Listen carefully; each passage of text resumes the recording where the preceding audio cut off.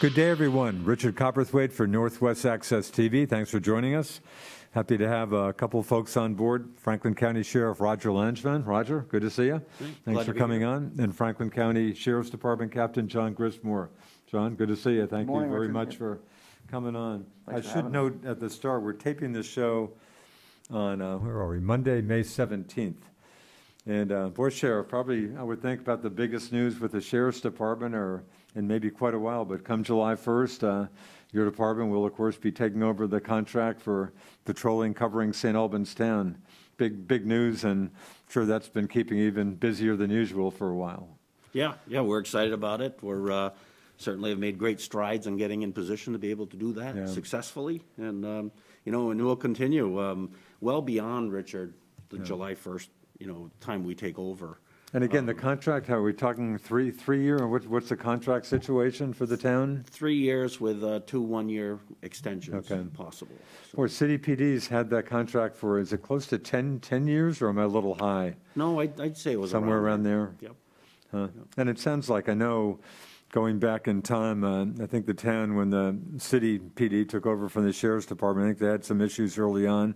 I think that relationship went pretty well, but when you bid for the contract, it sounds like, uh, from the town's point of view, they, they just saw the sheriff's department having a, a better deal, but in any case, you got the, you got the contract. Yeah, and I think, Richard, it- it's somewhat went even beyond the deal. I think they, um, the culture was very big to me when I became sheriff. and, Yeah.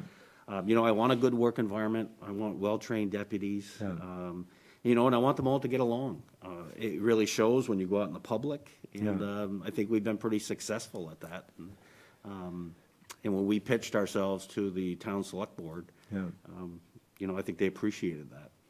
So staffing-wise, are you, are you in decent shape now? You still have some more staffing to do? You're going to be okay staffing-wise with the town? Yeah, I think so. We're, um, you know, we're always looking for a few more. Yeah. Um, And we will be, like I said, after July 1st as well. But So we're- again, we're- anybody out there, uh, anybody interested in being a deputy, talk, talk to you. I mean, you're always looking for folks? Oh, absolutely. And our best recruiting tool has been our deputies. Really? Um, You know, by, by talking to other law enforcement officers, you know, throughout the state. We have one we just hired from uh, the southern part of the state. Uh, We have another one who's coming from, uh, well, the eastern part of the Northeast Kingdom. Huh. Um, You know, we have a meeting, meeting actually with him today where he's going to be signing on with us. No, in fact, I'm headed for the eastern part of the kingdom, uh, later, later today. I have a camp out that way, but, so Essex County, nice, nice part of the world. Yeah.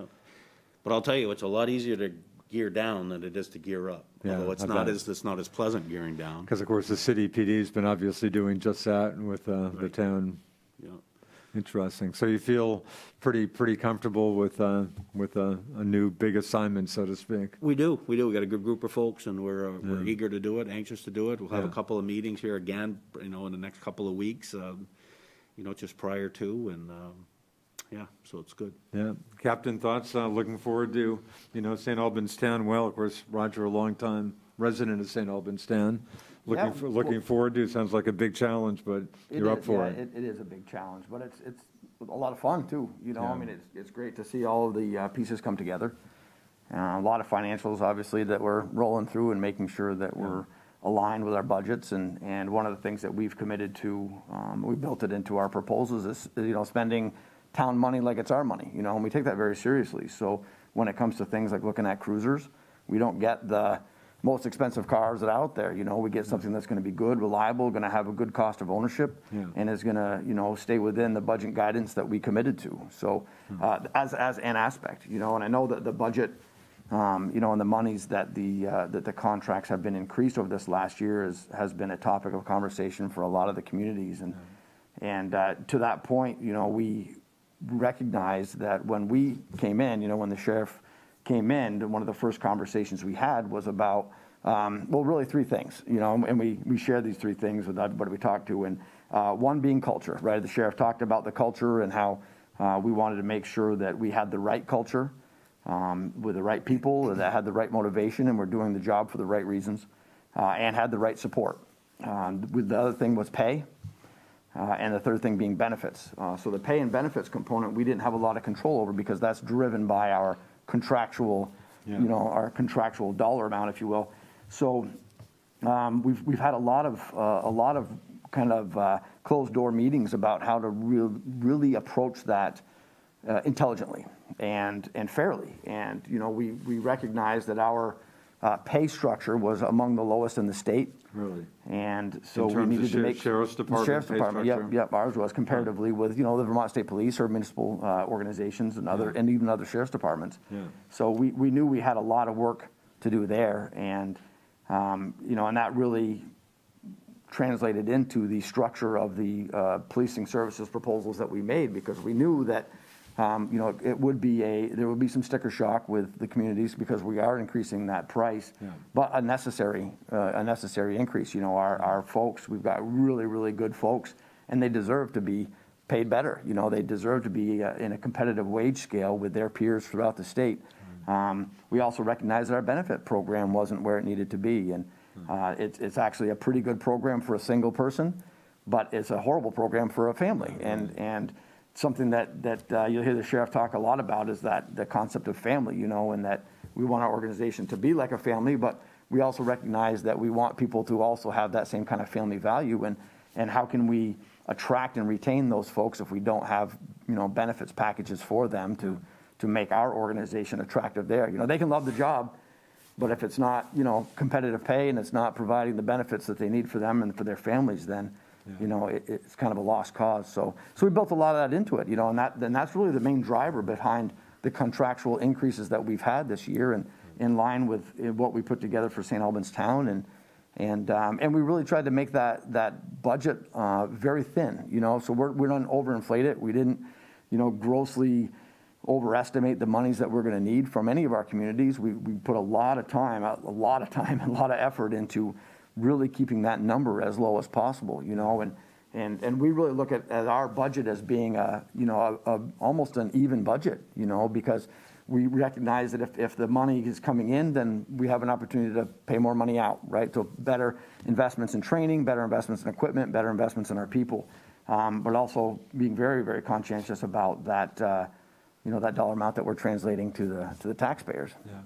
And the budget, I think, last time I talked to you, Roger, we talked about this, but for some folks out there, what, what's the big deal with the budget? Don't, you know, taxpayers approve it, obviously you're in a very different situation from, say, St. Albans PD, whose budget is part of the city budget, which voters have approved uh, pretty easily for maybe the last 15, 20 years. Your situation obviously is a lot, a lot different. So contract, how important are contracts with towns? Or maybe just talk about where, where your money, the money you need comes in from, different, different places. Yeah, um, sheriff's departments are unique in the sense that they're um, a, a business. They, they run themselves, they have to generate their own revenues. Is that typical of all, all states? Do you know in many other states how, how, how they work or not No, many of them, uh, many of the sheriff's offices are county um, government, if you will. Yeah. So they, uh, they get the county budgets to help run their, uh, their organizations. Yeah. I visited um, Pinellas County, Florida Sheriff's Office, as well as Orange County, Florida's office. Um, You know, they're 2,400 and 3,000 deputies uh,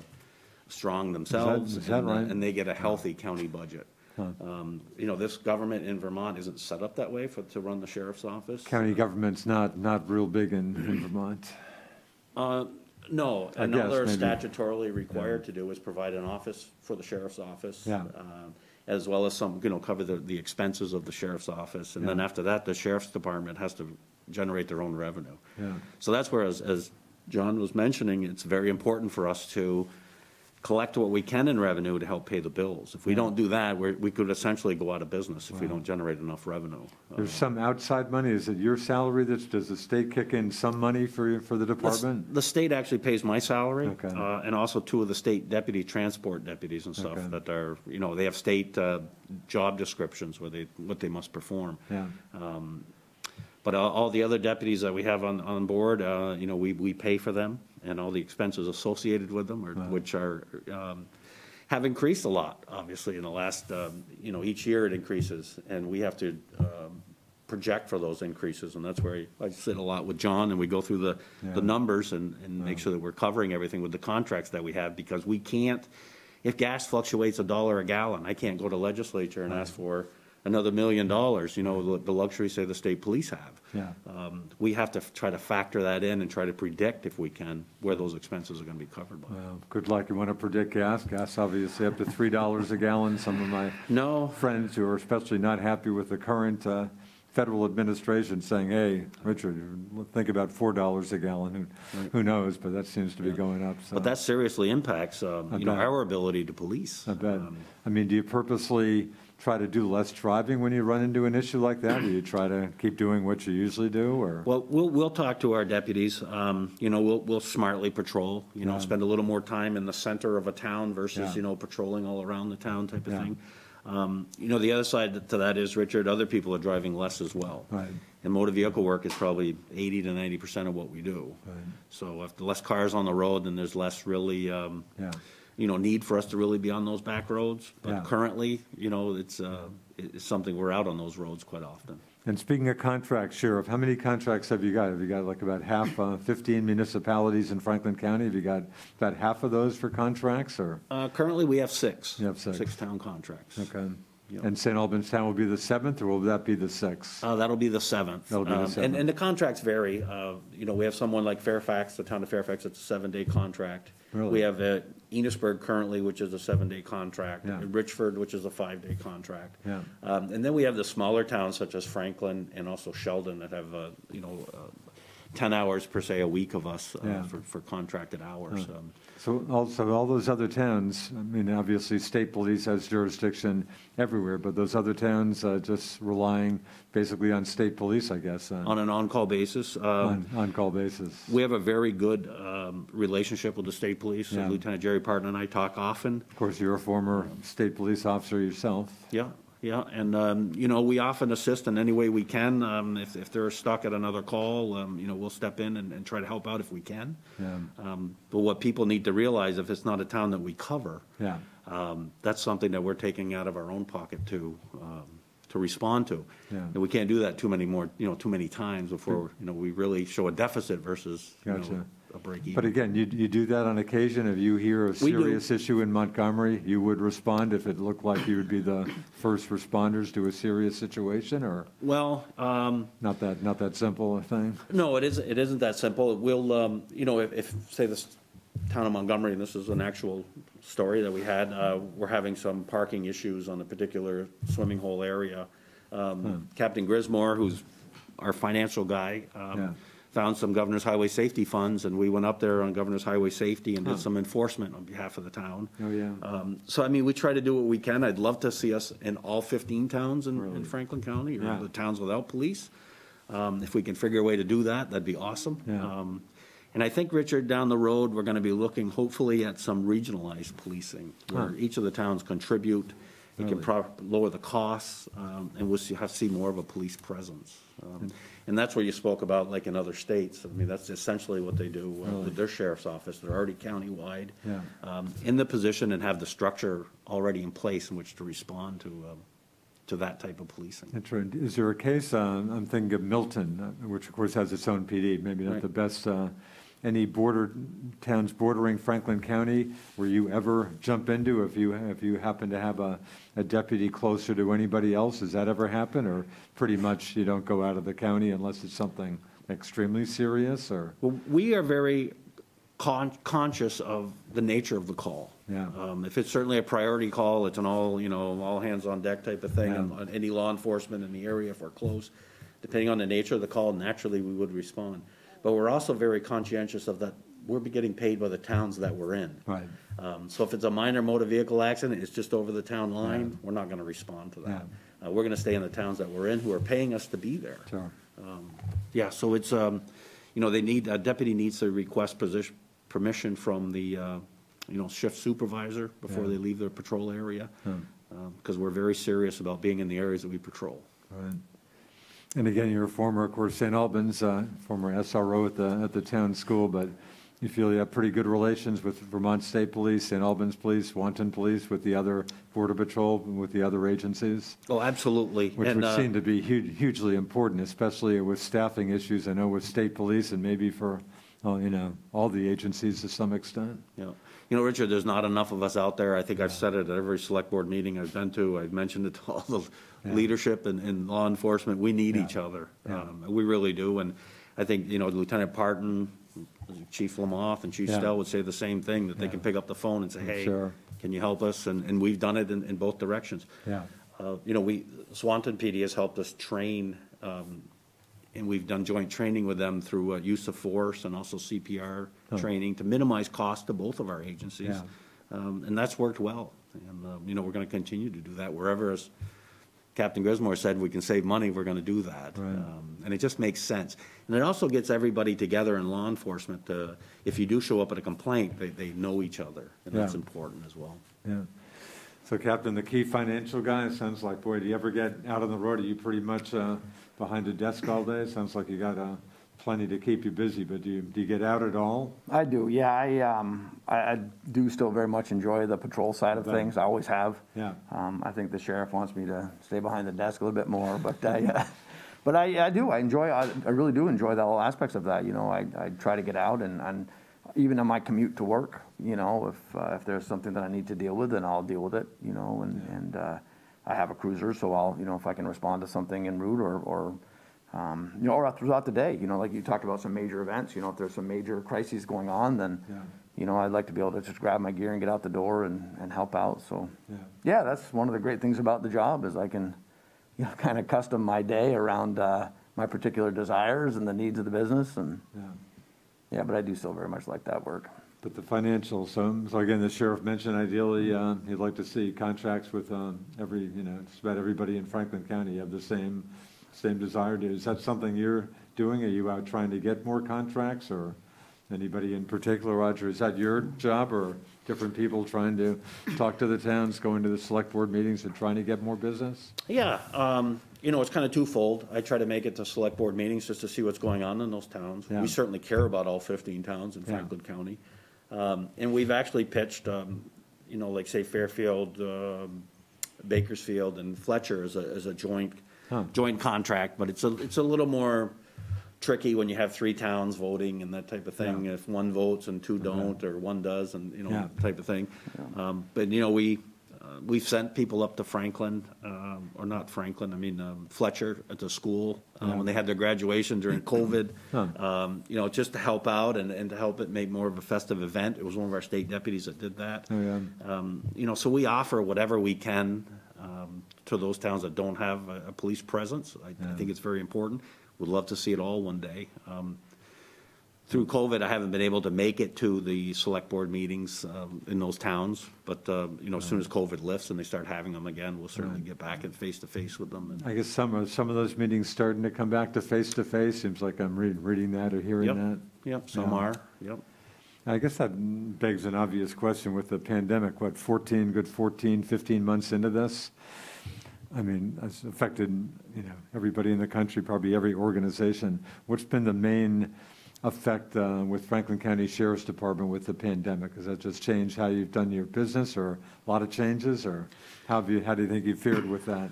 I think the biggest hit we, we've taken is um, outside jobs such as like road construction, all Yeah. got delayed and, uh, and pushed back. There wasn't much of that last year.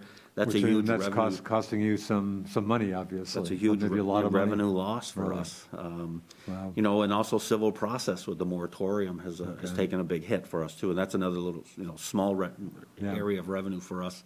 Um, So, you know, fortunately, again, I'll, I'll say to John, we just had to tighten our belts. Yeah. Um, You know, we made it through and, um, you know, hopefully things are turning around. Yeah, And I think one of the other impacts that we Yeah. had too is that, you know, we pride ourselves on being very community oriented.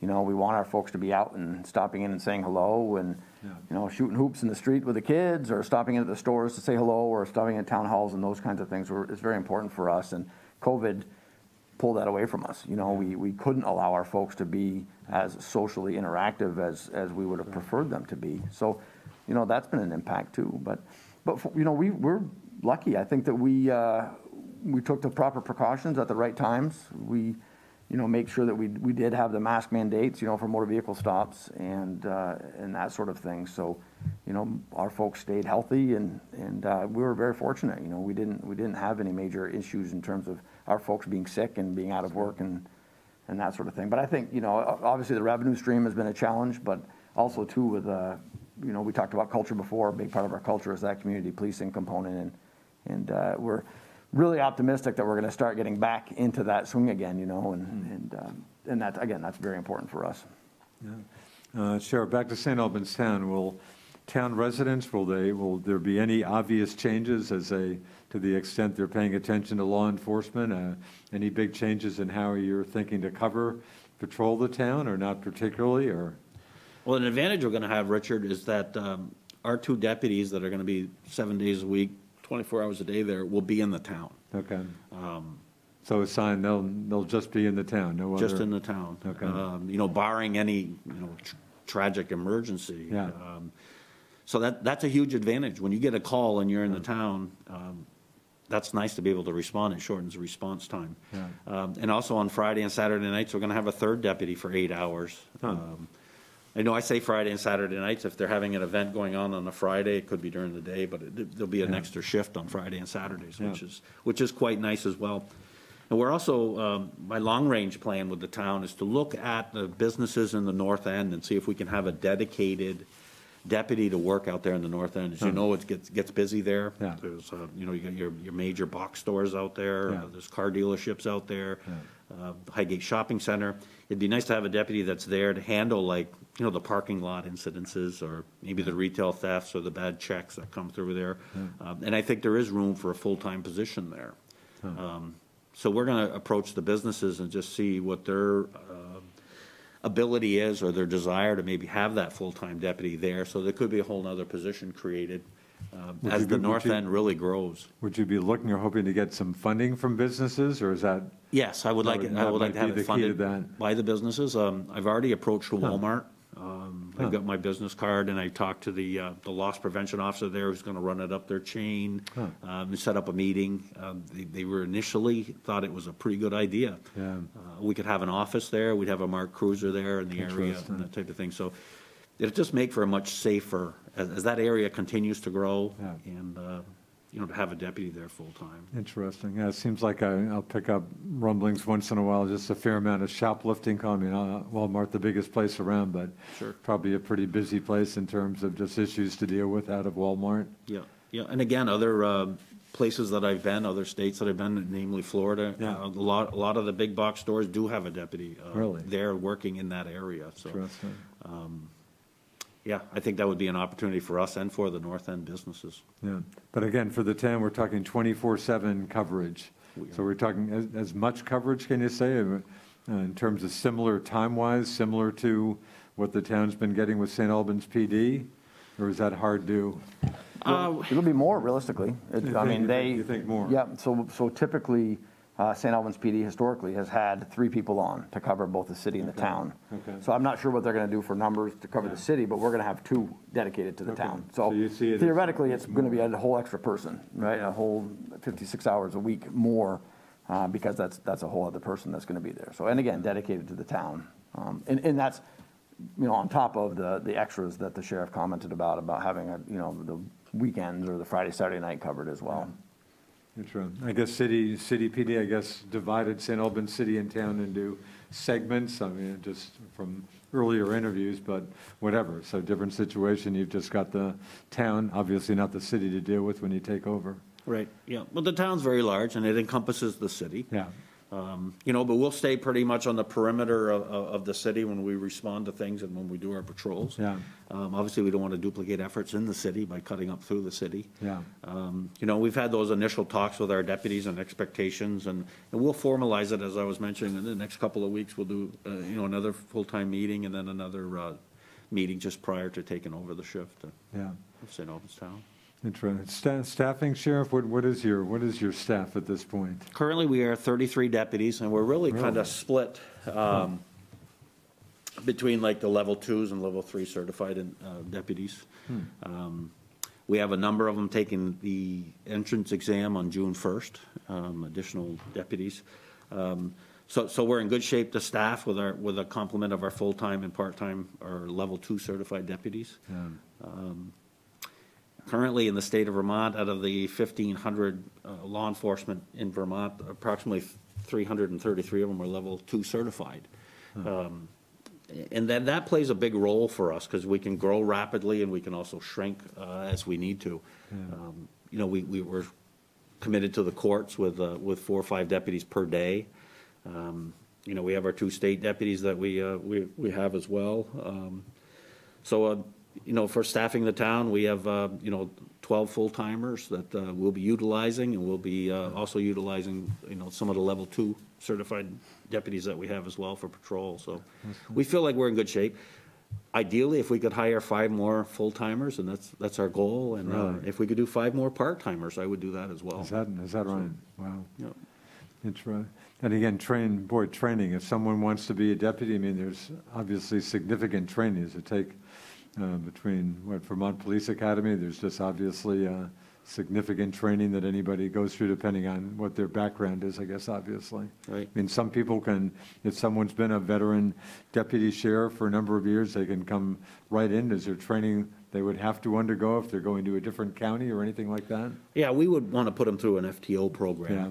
You know, um, and depending on their level of experience and how comfortable they get, that, that FTO program could be shortened. Yeah. Um, But, you know, we have a pretty formalized program that's, uh, you know, state certified um, with someone coming out out of the academy. Yeah. So um, you- you're right, it does take, you know, quite a while. It's a huge savings if we can get someone that is level three certified already. I bet. You know, but also, we, we have a, a a healthy respect for the level two certifications. Uh, We have some level two certified deputies that have been on for, you know, almost twenty years, and they're just as capable as any level three certified officer. Um, They've had that much experience. Um, You know, we have Andre LeBure in the, uh, uh, R- Richford at the high school. He's our SRO. He's a retired US Marshal.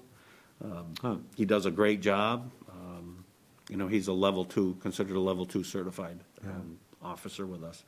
Um, So, you know, we certainly have those that are, have the experience that, that we have all the confidence in the world in. Uh, They've done a great job. They've proven themselves. Uh, So, yeah, so getting back to your question, we're, we're, we're good to, to start the town. We're excited. Um, You know, but we'll continue. I think the policing business is, you're always looking for good qualified individuals. I'm sure. I don't know of any agency that isn't looking for, for individuals. Yeah, it sounds like everybody, just talking to Tim Smith, which I do, of course, the St. Albans Mayor, Franklin County Industrial Development Corp., uh, boy, it's just almost painful. The labor shortage issue just sounds like it's uh, affecting everybody. It Sounds like some of the even bigger employers in Franklin County, uh, sounds like some of these folks were on shaky ground by just not having enough, uh, you know, work, workers, but sounds like everybody's got that issue pretty much. And in terms of getting uh, new recruits, uh, John, is that something you're always kind of uh, trying to do? or- Absolutely, yeah, it's, it's a department-wide mission, you know, as the sheriff spoke earlier, we're, uh, our best uh, advocates are our own folks. Yeah. So we've, we've, uh, we've incentivized that process as well. We have a, a bonus, a referral bonus that we've, that we offer up to our folks now. Huh. Um, when they're able to find, uh, people at different levels, whether they're brand new or the level two or level three. Um, so yeah, we're always, we're always looking for that, you know, and, and natural attrition, you know, we've, we've had some folks that have moved on to other organizations or left law enforcement altogether, and everybody kind of goes through those, you know, those employment challenges, but, but yeah, we, like Sheriff said, we're, I think we're very, in very good shape right now. Um, it's not the ideal situation, but nobody's ideal, you know, every department's understaffed right now, and, and it is a struggle, like, like you said, it's a, it's a struggle community-wide and countrywide to get good, capable, dedicated folks to, you know, perform the services that we need. I bet. You, you have some female deputy sheriffs, I assume? and- We have, we have two, yep. Yeah. We have two, and, and certainly the diversifying our uh, deputy uh, uh, bank is, is important to us as well. Um, You know, we're always interested in, in having that grow, and, and we're very, very sensitive to, uh, you know, some of the racial inequality issues that have been uh, very widely publicized in, in the media. You know, we want to, we to want ask to you guys about that. What, what are you, what are you, what are you doing about that? How, do- how, do- how are you trying to address that? A huge issue nationally, obviously. Huge, absolutely it is. The, the, um, the race component is, has always been a challenge in law enforcement. It's not new, you know, it's, it's always been something that we've, we in law enforcement have, uh, tried to educate ourselves on to the best of our ability. Um, just like with the mental health issue, right? I mean, it, it's, there's kind of two schools of thought with that, that, that some law enforcement folks think that, hey, that's not our job, you know, we're not mental health professionals. Um, the other side of that is the approach that we take, though we say, well, we can get better at that. You know, there's opportunities for us to expand our awareness, and, and we're not going to replace the uh, fantastic work that the mental health community can provide, and we're not, going to two different career paths, right? So we couldn't honestly dedicate the same amount of time to each career path, but, you know, we sure can get better at, at transitioning from a, a law enforcement component to an advocate component, you know, and, and I think of it like the switch, you know, I mean, you, you go to a domestic, for an example, and you're, you're in your mind as you're going, you're thinking, okay, you're, you're getting some information from the radio and, and uh, you're thinking, okay, somebody's gonna get arrested, right? So you're in that kind of law enforcement approach. And then you get there and you realize that somebody needs services. And, you know, getting better at that transition, you know, of, of kind of pulling back the, the law enforcement component and, and really putting greater awareness and advocacy work around that crisis need, whether, and it could be a mental health need, you know, and, and so we, we think that there's, there's always going to be great opportunities for us to continue our education. We've, um, on the, on the, um, the race component earlier that we talked about, um, we've already done a lot of training for, as far as that's concerned too. We had a, a local uh, young lady from the community that uh, came in, and she's a, a person of color that came in and spoke to us to share us her experiences, and that was a department-wide uh, required training that we had, and it was a great it was a great opportunity for us to to hear her struggles um, as as a person of color in a predominantly white community, and uh, you know just gives us some really good. Um, really good, really good perspective. You know, I think just just we're human too. Uh, You know, we kind of get lost in our own day to day, and our you know our focus can sometimes be a little too narrow. And so these are great opportunities for us to broaden that and and just be aware of that bigger picture. You know, I mean, uh, I grew up in Vermont my entire life, as as the sheriff has, and um, you know there were very very few people of color. Um, i- i- you know, when I was a kid, and that's changing. That dynamic's changing, and and and I- and in our fellow communities, right? So we're seeing a lot of uh, a lot of uh, non-white people that are coming into our community as well, and so we need to be aware of that. You know, we need to be aware of the cultural differences and and the things that uh, that make up the their culture and how we can you know assimilate productively and, and be aware of those things and be sensitive to those things and. Any, So- and any, any of your staff, any people of color on the department staff? Yeah, we do. Yep, Um, yep. We just hired a, a young man that's actually, he's a, he's got a fantastic mental health background as well. He's a level two certified guy. Um, so we're really hoping to, to leverage, yeah, his experience, uh, you know, as, as being a person of color. And we haven't really broached that subject with him yet, but it's kind of been in my mind to think about how he can enhance our awareness to some of the things that he's aware of that, um, that maybe me as a person with white skin, you know, doesn't have that experience or that exposure. And so, and, and his mental health background, he's, he's, he works in a crisis field right now and, and has a tremendous amount of, of experience uh, in that regard. So we're looking at those kinds of things too, you know, and, and how can we incorporate those teachings and those learnings and those different skill sets into our day to day and, and how do we share that amongst everybody, you know? We've got, uh, one of our female deputies is uh, pursuing a, a very impressive uh, psychology degree program. She's doing her master's right now, and then she's going to go on to her doctorate program. And uh, I joke with her that she still has to call me captain. I'm not calling her doctor, you know. But uh, but you know, so things like that. So we're we're looking at leveraging a lot of that experience and the education that she has, and how can we weave that into into the fabric that makes up our organization, and, and how can we all just be a you know rise rise up, and how can we get to that next level of, of awareness and sensitivity and also being able to provide the services appropriately and, and, and equitably. Yeah. Sheriff, anything, thanks, thanks, Captain, anything you want to add, add to that? Again, just a, a little tough, just uh, from, you know, Vermont obviously being about the whitest state out there, but boy, just a huge issue nationally and stuff, and obviously it's uh, affecting every state, every probably municipality. Yep, yeah. You know, just in our, our, you know, our policies and our training, and, and I'll go back, Richard, to our culture. You know, just treat everyone with respect Yeah. and dignity, and, um, and even go back to my days when I was a patrol commander with the state police, I used to tell, you know, the guys on the road, that, you know, they, the consent searches were very big, and, you know, and that type of thing, and I'm like, well, you know, when we review these, we look at what are the indicators to lead you to a consent search, you know, it's like, um, because, and I used to use my own father as an example, if you stop my dad on the road, Yeah. And you ask to search his car, out of respect to you, he's gonna say yes, but you've wasted your time, his time, because there's nothing in his car, there weren't the indicators there. Yeah. And that's the level of respect that you need to give individuals, you know? Um, And, and I don't care who it is. Um, I've always, in my policing career, when I was involved in an incident, I, I would go there and I would be asking, if this was my family, how would I like it to be handled? Um, And I don't care who it was, you know? Um, And I understand going to these places, uh, you know, there's a lot of emotion, there's a lot of everything, and, and understanding that perspective when you respond is important. Um, And that tells you how you're gonna, you're gonna handle it. Um, But always handle it like it's your family member, and you will always handle it well, um, no matter who you're dealing with. Uh, And, and I express that a lot now to the deputies, you know, same thing. It's like, you know, if that was your family being treated by a police officer, how would you like that person to treat your family? Um, And so we kind of, you know, it, it's simple, but it worked for me. Um, I hope it works for everyone else, and they, ex- they know my ex, uh, experience and also what my expectations are um, for that. Um, we'd have a zero tolerance for any of that type of, uh, uh, anything other than that type of response to a, to an incident, whether, whether it is with a black person or, or a white person or, um, you know, that level of respect is, is- we, we serve the public, and we just need to keep that in mind. I know St. Albans, San- City of St. Albans has, I guess, a police advisory commission. I might be a little off on the official name, but just with some of the concerns that have been raised with city PD and just, you know, nationally. Anything like that with the sheriff's department? If there was some controversial incident, is there some procedure that that this would be reviewed by somebody or some, you know, panel or something? Well, St. Albans Town has a police advisory Okay, the board. town- town does The town also. does. Okay. Um, There's not any other towns that we patrol that um, have a police advisory board. Okay, Uh, And it's not that, you know, we're opposed to any. Yeah. Um, However, uh, you know, when we went in front of the St. Albans Town, it was the- our culture and um, our training schedules and, and our desire to do the right thing. I think that really got us into, uh, into the town contract. Yeah.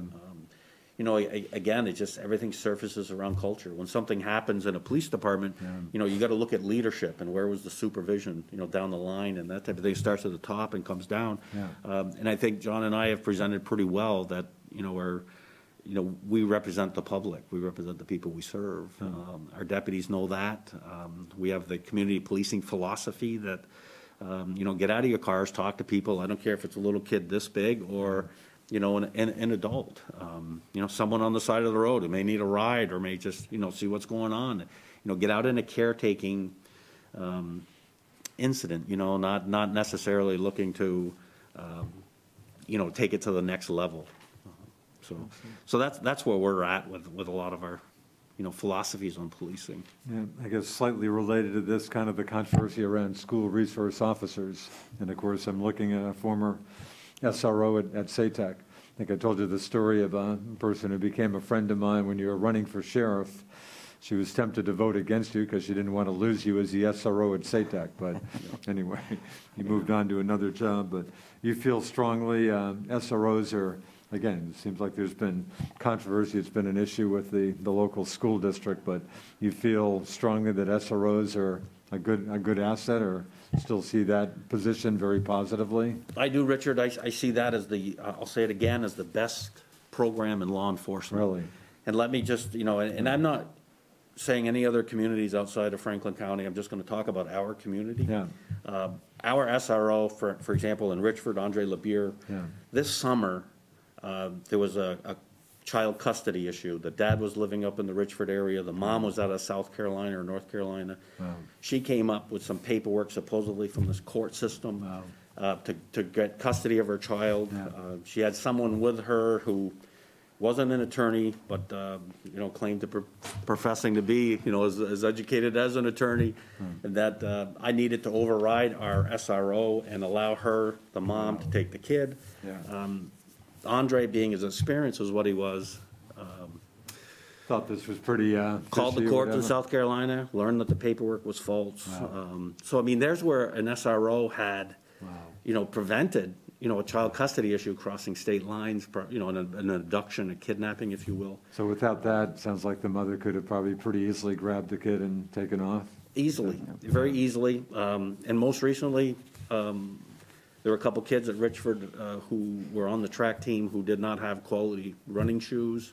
Um, Andre had contacted, I believe it was Foot Locker uh, and a couple other places, but Foot Locker There's Fleet stepped up. Feet, yeah. And not only Feet. provided shoes for the Richford team, but also the Enosburg team. Right, really? I mean, I mean, the SROs do a great job. They're just, uh, if you have the right person, I agree with that statement that people make. Yeah. Um, But if you do, they're so valuable to the, to the community. Um, You know, and really dealing with a lot of high-risk, at-risk kids. Um, Yeah. You know, keeping them on track. Um, So, yeah, it's a great program with the SRO. I'll get off that little soapbox, but, uh, Okay. Captain, you see it Yeah, the same, same way I assume? Absolutely. You know, we're, we're blessed to have really strong SROs. You know, we've got uh, Sergeant Jim Lynch in the Enosburg school system, and he's been there for a number of years, and he won this last, the last uh, school cycle, he won their Above and Beyond Award. You know, he was recognized as, as just going above and beyond, and, and uh, just, a- you know, and something that's, you know, we'd love to be able to just show all the ways that the SROs really provide value to the community, and not just the schools. And um, one of, one of them was, was with Andre and Richford and, and Jim in, in Enosburg, they were delivering meals. You know, so they were spending their time, you know, going out in their cars and, and bringing food to, to families that needed it. You know, they had the bus systems that would do the traditional routes, but you had places that the buses couldn't go. So they, you know, they would take our cars and, and go up and deliver those things. So again, something that doesn't make the mainstream media, you know, it's not, it's not a popular thing to look at, but, uh, but incredibly, incredibly valuable and an important thing for the communities to have. Um, We're, we're uh, looking at uh, the new, we're hopefully going to have a new SRO in, in um, Fairfax for the next school cycle. Uh, That person is the same female that I talked to you about before with a mental health background. Um, We're also looking to incorporate some therapy dogs into both the Enosburg school system and the Fairfax school system as well. Um, they, they've had, from what I understand, a tremendous amount of success, success with that in the St. Albans, uh, you know, BFA St. Albans with St. Albans City PD's deputy uh, Christine Koch there and, uh, and, and her dog Murphy, I think is, is the, is the, her dog's name. But, um, you know, we, we saw that that was a tremendous opportunity for us to really bridge the gap between law enforcement and, and particularly the children. You know, everybody loves a dog, right? And, and uh, we saw it when we brought our new canine in and had a little public meet and greet. You know, kids that rode their bikes by the sheriff's office every single day came over to say hello because the dog was there. So So that's, a- you have a new, a new canine? we do, yep, now? yep, we do have a new canine, yep, for, for the more of the police side of things, but. Is that the um, first, is that the first one you've had since you've been sheriff? Roger? yes, yeah, first, Yeah. one's, yeah. And you see that as a good, good addition to the It's department? huh? fantastic, yep, and he's, um, yep, Mac, it's with uh, Deputy First Class Tyler Camilleri. Uh, Mac is the dog, and you've probably seen him on Facebook or wherever we posted him, he's huge. So what, what's the main use of the canine unit? So he's, he's gonna be for drugs and for tracking. Okay. Yep, so he's not gonna be uh what's traditionally termed a bite dog, so he isn't the, the kind of dog that's gonna run after a fleeing felon and, you know, tackle him, that kind of a thing. But he'll be for drugs and for, uh, search and rescue, for tracking kind of things, you know. Somebody wanders away from their home and a, a child, or somebody with Alzheimer's, or something like that, that he'll be able to go out and find them. Um, but as well as doing drug, drug interdiction work is a, is a big component of, of what he'll ultimately, ultimately be charged with doing. And, and there, again, there's not enough police officers, there's certainly not enough canines around for us to be able to, you know, call upon their services from a day-to-day basis, so. And, and we might even add another one, you know, we'll, we'll see how the success of this one goes and, um, and not another one, but, you know, uh, the sheriff and I are both dog lovers and dog owners, and we certainly can, can appreciate the value that dogs can bring into any situation, whether it's a therapeutic component, like with the, uh, with the school resource officers that we're looking to expand, or whether our, you know, drug tracking and, and, uh, you know, drug, drug detection and, and tracking components, yeah. Sheriff, last time we talked, it was uh, one of, one of the issues I didn't get to, but situation with farm workers is, just kind of struck me as kind of a di- dicey issue, but certainly hardly have to tell you, you know, as well as anyone, Franklin County, even with uh, dairy industry taking real hits in recent years, we're still talking uh, obviously important industry in Franklin County and in Vermont, although, geez, we're down to, what, something like 650 dairy farms from, you know, tens of thousands going back, uh, you know, far enough. But anyway, but I, I guess I'm not even clear. Farm workers, again, just sounds like uh, they're key to the dairy industry, typically Hispanic workers, I guess a lot of Mexican workers, some of whom are not here legally. I, I guess it's not clear to me. What, what are your, you know, how do you, you know, how do you deal with that situation if uh, every once in a while there'll be a, you know, a farm worker who's just picked up or in a car, you know, not on the farm and being questioned and stuff? Are you, you know, can you deal with those folks like anybody else? I'm not asking this very articulately, but I'm just not clear on what you're supposed to do if you see, you know, a farm worker who may be here illegally. How, how do you deal with that person? Sorry, I'm not asking that better, but. Yep. Well, first of all, Richard- been clear to me, I guess. Yeah, we're not, we're not the immigration police, you know, Yeah. we're not ICE. Um, If they're victims of a crime, we'll, we'll, we'll investigate it like any other crime. If, uh, if there's a crime committed and they're the offender of a crime, Yeah. you know, we, uh, we investigate it like any other crime. So their status, whether they're legal or illegal, is basically irre- irrelevant? It, it, it is at the state level. It's not anything that we, we look into. Yeah. Um, We don't, we don't ask it. We just deal with the victim, victim or offenders. Yeah. Um, Interesting. It just seems like, uh, d- again, you know, dealing with the dairy industry for decades around here, I mean, good luck finding local folks who want to milk cows. Sounds like these people seem to not exist, and I realize labor shortages for everybody, but it sounds like these folks are the key to propping up uh, the, the industry, but, I think it's sad. I grew up on my grandparents' farm in You Highgate. know, that was and, uh, literally And I really enjoyed it and stuff, and I wasn't Did you old think- enough did when you my think about, uh, grandparents sold the hanging with farm. farming, or, or not? What's that? Do you think about hanging, making farming a, a living? Well, I, I would have, uh, if I was older, at the time my grandparents right? sold the farm. Really? Oh, Um, really? You know, but, you know, now it's, it's hindsight, but, you know, those Yeah. are the best times of my life with, you know, spending time with my grandparents. We'd, Yeah. we'd spend sometimes upwards of a month there, uh, in the summertime. Yeah. um, You know, doing the haying and the milking and that's, uh, Yeah. helping with the barn chores and, Yeah. um, you know, it was a lot of fun. Um, Yeah. But, uh, yeah, hindsight being what it is, Yeah. you know. That's right. But again, not a lot of issues. Sounds like I'm not at least reading or hearing about a lot of issues that come up with. uh, It sounds like most of these folks are working, you know, their tails off for a lot of hours. So it sounds like there are not a a lot of issues that, that come up, I guess. No, the issue-. The, one issue that we might have is someone who doesn't speak English at all. Yeah. Um, You know, What- at that what point. What are, you, what do you do, what are you doing in that case? At that point, we've, um, you know, we've had training recently that we brought into the office, through the U.S. Attorney's Office, Yeah. um, where we set up protocols on uh, who we call to set up language translation ser- services for this individual. Um, So if we are stopping them for that car stop, you know, they don't have any idea. Well, right at roadside, we'll call dispatch, and dispatch will call um, the proper translation services Yeah. for us. Have you got anybody with the department? Any fluent, any- anybody fluent in Spanish with the department? We have an applicant who's retiring from the Border Patrol, um, who's looking to retire in June and come on with us, and he's fluent in Spanish. Yeah. Um, Although we would still stay with the same policy Right. of calling dispatch and getting, Okay. even I learned through this training that we took, Richard, that there's several different dialects of a particular language. Yeah. Um, So we'll get the correct dialect, we'll get it right the first time, Yeah. uh, and then, you know, deal with whatever the situation is. Yeah. Of course, uh, just thinking of the border, border seems like it's been closed forever, but maybe in the old days when the border was open, that might be an issue once in a while with someone who was French-speaking, but Yep. I guess probably not. Boy, what do you think about the border? Are we going to ever see the border open again? Sheriff, boy, it sounds like it's going to be a while. Yeah, I'm not, I'm not sure, I am, you know, when it's gonna open, um, you know, in Canada, I'm not f- totally familiar with their situation with COVID, but I think it's a little worse than ours. I think it's worse, I think, uh, I think even the border between like Quebec and Ontario is closed, yeah, I Right. think it's, I think Yeah. it's uh, ma- many fewer people vaccinated, it sounds like it's, uh, I typically catch Montreal news late at night, and, yeah, it sounds like it's still a pretty, pretty, pretty big issue up there. Yeah. Well, I used to enjoy stopping cars, uh, and only getting a s- a French-speaking operator, because I Yeah. could use my French. uh, So you, so you can, so you can deal with French, uh, pretty well, are you, you know, are you fluent in French? Yeah, uh, well, I, I Oh, used to be. I'm Did not you as fluent really? as I used to be. Is that Um, right? So that's why I enjoyed the challenge of when I would run into a French-speaking Wow, driver. uh, We only hear it in the level. office when he gets angry with something, yeah. Yeah, with your family, no, I bet, so, I mean, growing up, you spoke, I mean, French was, uh, you you heard a lot of French just with your family even? Yeah, my grandparents were, spoke only broken English. Oh, really? On both sides of the family, and, uh, Huh.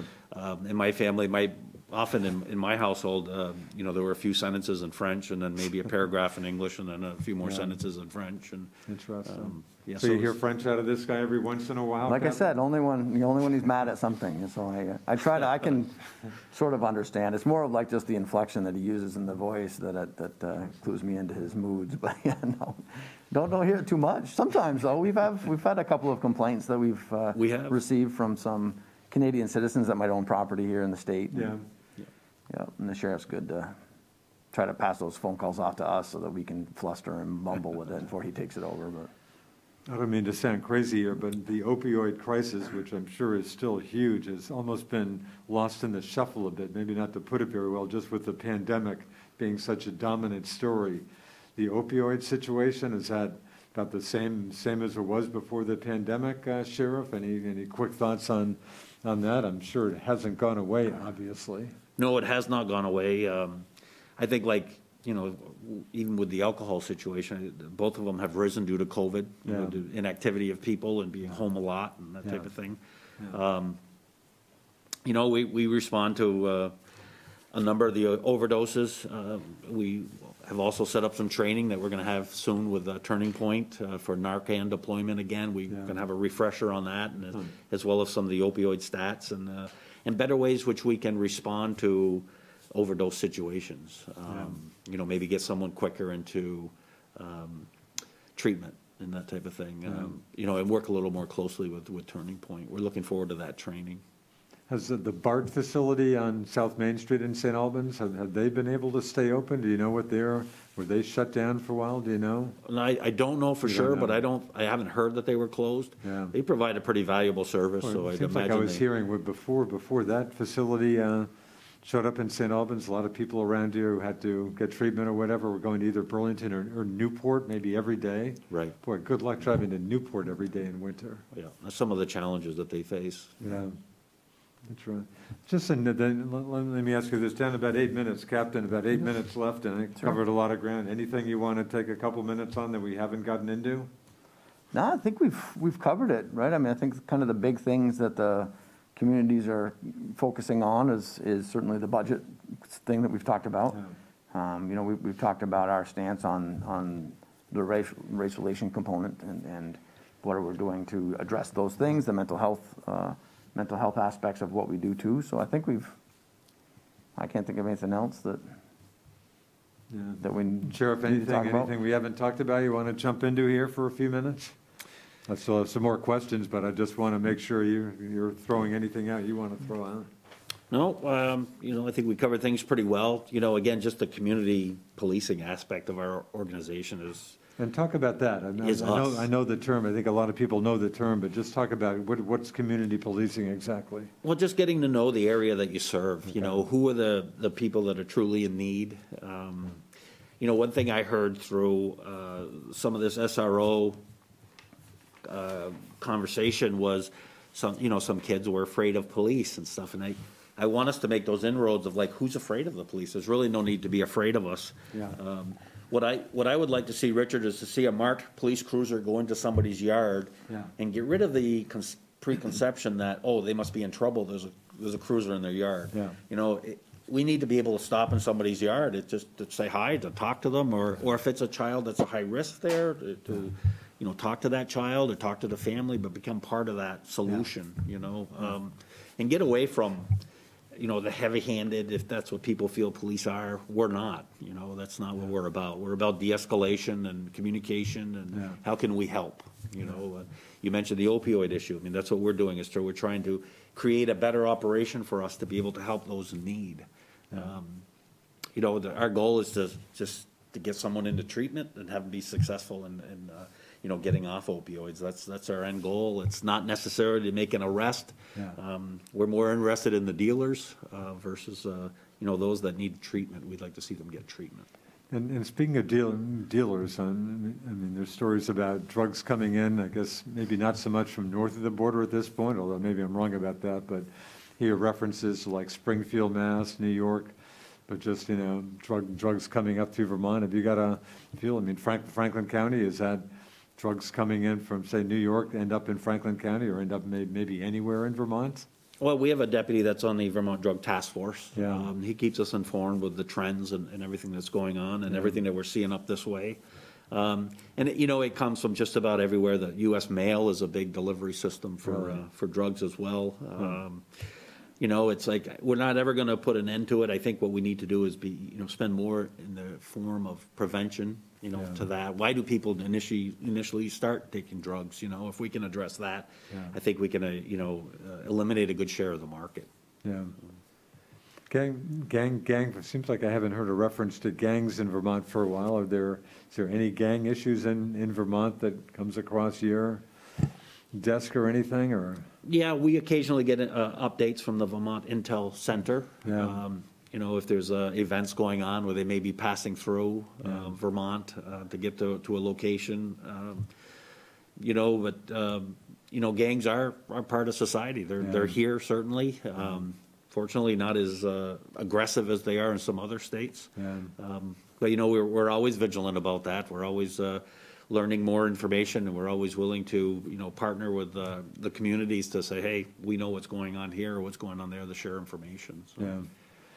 I know Richford, and I know Richford had, has had a, a, a lot of issues, but law enforcement wise, but I know they, they had a meeting with, I think, the, with the state police commander out of St. Albans, and were you part of that also? I was, yep. And, and so- and what are you, we're down to about four minutes, but you trying to do changes in law enforcement in Richford, or what's the, what's the hope there? It seems like I was reading that it's gonna take a while, but we're just trying to get the community more involved, more information from the community about, you know, problems in Richford. Yep, um, what the state police had set up, Lieutenant Jerry Parton and, uh, Ashley Farmer, Trooper Farmer, was, uh, an intelligence-led policing response where, uh, anyone who had any information would email that information to the state police. They'd be the collecting, uh, agency for that. Yeah. Um, and then they would share it with, with us essentially, and also, I'm sure, Border Patrol, um, about some, some of the criminal activity that was coming up there. And if they could get enough information that- where it became intelligence,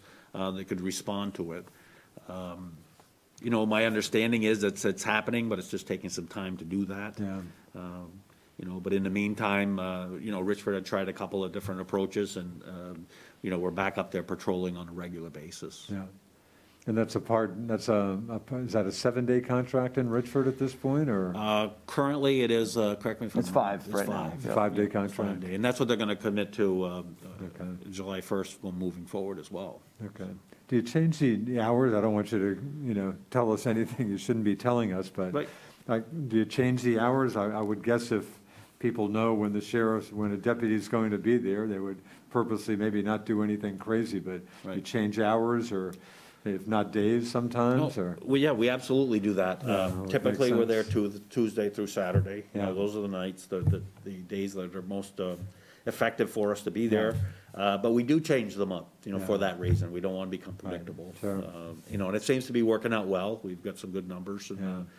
uh, in Richford, and we've heard some feedback from some of those uh, players in Richford that say, gee, we didn't think you'd be here today Is that right? um, you know, when they got caught doing something. So, Right. uh, so, yeah, it seems to be working. And I guess it's helpful, I guess I read that, I guess it's helpful when you have a deputy in Enosburg, it's nice to have two deputies not too far away if something, something major comes up, obviously, in the other Sure. community. Yeah, if there's backup, you know, we, uh, we understand there's shortages with the state police and stuff, so we, you know, we need to protect ourselves as far as having some, Yeah. some nearby backup that's quick. Yeah. We rely on our partners with the Border Patrol quite a lot. So Uh, Border, Border Patrol is very helpful for, for you folks? Extremely helpful, you know, and going back to that saying, Richard, where there's not enough of us, whether it be federal or state. I mean, Sure.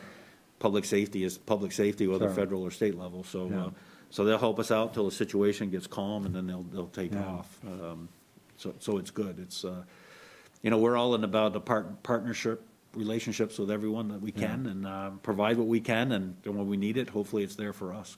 Yeah. A Little over a minute left, uh, Captain, some final, final remarks, anything you want to tell us? Yeah, just uh, one comment about the community policing thing. You know, one of the things that, that we changed early on was the, the term that we used, you know, like, and I think about our proposals, all said law enforcement proposals. We changed those to police services because we recognize that there's a lot more that we can do. And we think about those quality of, of life things that maybe it's not a law to enforce, but maybe we can be an advocate, maybe we can be a liaison, maybe we can be a mouthpiece for somebody that can help them resolve a neighbor issue or something like that. So that, that's what we think of too in community policing is doing above and beyond just the arrest stuff, uh, above and beyond motor vehicle work. How can we really get out in the community and make a, a positive impact and, and, and be a great resource uh, for everybody in the community? Um, I'll give you, I'll give you the last couple. um, So again, Sheriff, in 30, less than 30 seconds, but big doings in St. Albans Town, taking over in July 1st, but uh, look, looking forward to a, a big challenge for you folks. Yeah, that's our we. We're, we're excited. Uh, we got a couple new Dodge Durango, or not Dodge Durangos, we got, the Chargers coming. Dodge Yeah. Chargers Oh, coming, um, you know, from the town, and, uh, you know, we're excited to accept those. Hopefully, they come in the, the near future. Uh, It's up in the air with COVID, but, um, you know, yeah, we're ready to go, and we're excited for July 1st. Very good, we wish you luck. Many thanks to uh, Franklin County Sheriff Roger Langevin, Franklin County Sheriff's Department Captain John Grismore. Thank you. Thanks for the time.